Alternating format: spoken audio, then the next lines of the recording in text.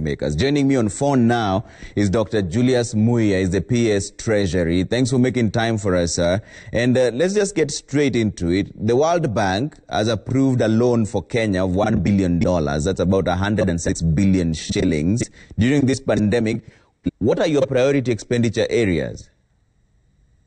Well, thank you, Trevor. Um, you know, during this time, we're looking at uh, budget support uh, to make sure that we are able to fund uh, government expenditure.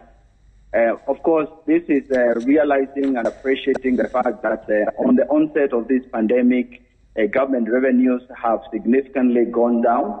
And therefore, so that we can continue operating government, providing services to citizens, we need to be able to get uh, some other source of funding. So that is why we went to one of the cheapest sources of funding, and that's why we went to this World Bank alone.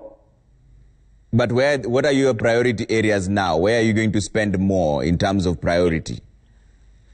Well, obviously, we have um, the health uh, situation uh, regarding the um, the pandemic, where first of all we are having to uh, help people with their, uh, the mask.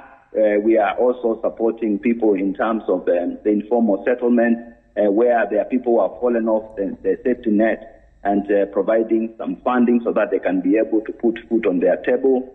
Uh, we are also looking to make sure that where there are bills that were outstanding to help small, small businesses so that they can continue uh, doing their, their, their work, uh, they will be able now to get uh, funding so that they can continue with their, with their work. Uh, obviously, government has a wide net of uh, things that uh, need to be done, and we are looking to make sure that we, we spend this money as wisely as possible. Trevor, remember, we started negotiating this facility long way back in August last year. So it is something that we have been planning as part of our budget support for the government to make sure that our funds um, are, are, are, coming in time, and also we are getting funds which are uh, properly priced uh, so that we don't uh, overload the uh, cost of running business okay, and running so government. PS, indulge me a bit more on the informal settlement and the safety nets that you're talking about. How much are we looking to disburse per family? How many families are there? How much are you going to give them, and in what period of time? Trevor, let me start from the um, the basics.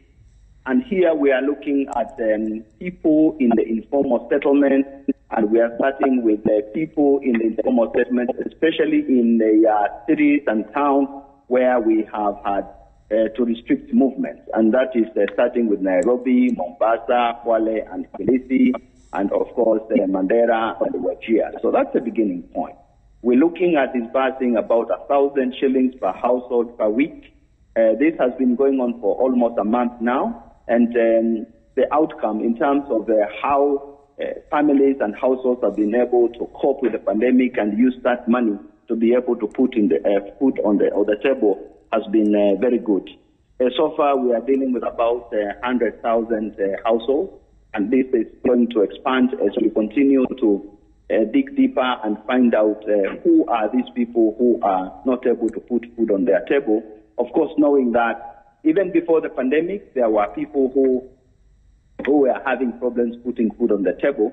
Uh, but now with the pandemic, there are also people who previously had jobs. They don't have jobs, especially those in the uh, tourism uh, industry and related uh, sectors like hotels and then uh, logistics uh, area. So yeah, it's, it's a wider net that we are addressing ourselves, and it is evolving as we go. Okay. You've mentioned a thousand shillings per family per week. That essentially is about four thousand shillings in a month. But how long do you are you looking at giving this uh, aid to the families? How long will how sustainable is this?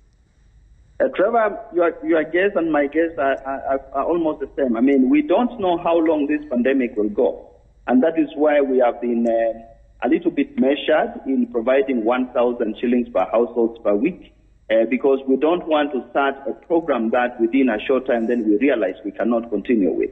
And so for us, uh, we are trying to be careful. We are also doing a survey uh, to try to understand and uh, uh, appreciate uh, how households are coping with, with, the situation. So we are combining our interventions with data that we are collecting on a live basis where we are using technology and surveys through our Kenya National Bureau of Statistics to make sure that uh, we are not off the mark. Okay. So, and how have you been able to map out the people who are most vulnerable? Because there are some who can sustain themselves in as much as they're still in a lockdown area, but there are those who are most desperate. Uh, Trevor, let me let me take you back to the um, the census we did last year. That census was able to identify for us uh, the livelihood and the wealth and the, uh, the poverty levels in uh, various parts of the country. And so using that, we have been able to map out the informal settlements and appreciate which parts of the informal settlement have got the highest poverty incidence.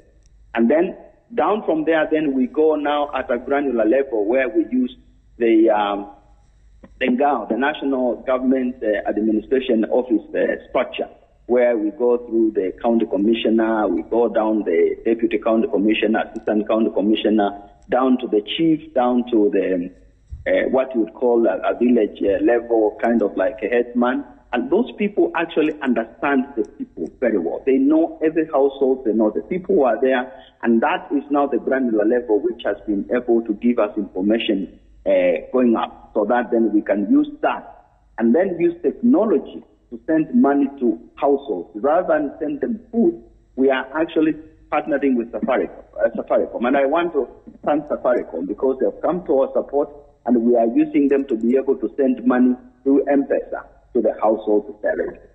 Okay, so PS, the survey on socio-economic impact of COVID-19 on household report says that overall about 30.5% of households were unable to pay rent on the agreed date and 22%, that is about 3 out of 10 Kenyans, were also unable to pay rent completely on the month of April. So what is the government doing to sort of cushion the people whose income has, has dwindled and also the landlords who are looking to get money from their tenants who don't have that money? I think this is a challenge that uh, we are dealing with from very many fronts. And uh, one of the fronts that I have said is actually that 1,000 shillings per household per week. We also have the normal uh, social protection program where the Ministry of Labour and Social Protection have got um, a budget of about 8 billion shillings, uh, which is money that they have also been distributing uh, through the M-Pesa platform to the uh, households. So that should also be able to help. We are also progressively, uh, if you will notice, allowing uh, people to do um, some uh, form of little business so long as social distance is maintained. So we are, we are, we are hoping that uh, through that opening, people will be able to have some little income coming in. But also now looking at the landlord who sometimes and um, have loans with the bank, then we have had this confirmation uh, from the central bank and the commercial bank that uh, they are going to be lenient. They will listen to people who have loans uh, so that during this pandemic, they will allow them um, to, to, not, not to service all their loans as they, they would have uh, serviced them uh, without uh, pushing them too much. So again, just looking at the money side of things and making sure that we talk to as many players as possible because if you look at it uh, in terms of the total rent that um, uh, we would be required as government to help people with, I mean, it's a number that I can't even get uh, what, what, what the magnitude would be. And so we are looking at uh, all those different arsenals so that we can deal with this pandemic and the challenge of rent uh, at the same time. So, is there any other stimulus package on the way that the government is mulling? Because we know the pay as you earn has been reduced, we know the VAT has been reduced, we know also there are tax rebates here and there. But is there any other stimulus package that the Treasury is now looking at going forward? Yes, Trevor, His Excellency has uh, directed my um, cabinet secretary to uh, get a team of people together to develop uh, what I would call an economic stimulus package uh, that is going to show up and um, help uh, the recovery of various sectors in this in this country. And this is something that, um, through the leadership of my cabinet secretary, we've been able to put together a package that uh, we have presented to Parliament. And this uh, economic stimulus package is looking at um, all the areas in the country, which we, we're focusing on the informal settlements in the urban areas where we are talking about uh, cousin money will be availed so that the youth who are in uh, the informal settlements can clean up and go work there and make the uh, informal settlements healthier